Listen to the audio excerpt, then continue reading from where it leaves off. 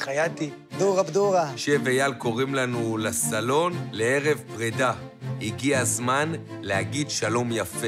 אלוהים ישמור, כמו אהרון אה, מתים. מה זה? את מי קברתם פה? אתם בשחור גם שניכם, אני לא יודע מה קורה פה. מי קברתם פה?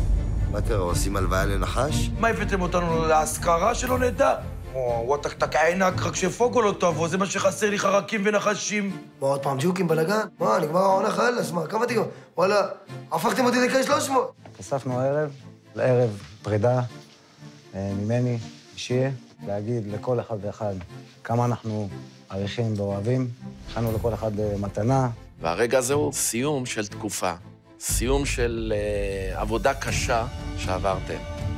ואני מקווה שכל אחד גם יצא מפה בסופו של דבר גאה ועם ראש מורם. רגע לפני הסוף, רגע לפני שאנחנו משחקים על הגמר הגדול, רגע לפני שאנחנו משחקים על הגביע, אנחנו מתכנסים לרגע מרגש. בכל זאת עברנו פה עונה שלמה עם הרבה חברים שלפני זה לא היו מחוברים. התגבשנו פה חודש שלם, התגבשנו פה עונה שלמה לנבחרת. מה שאת עושה לי, אני אותך כל כך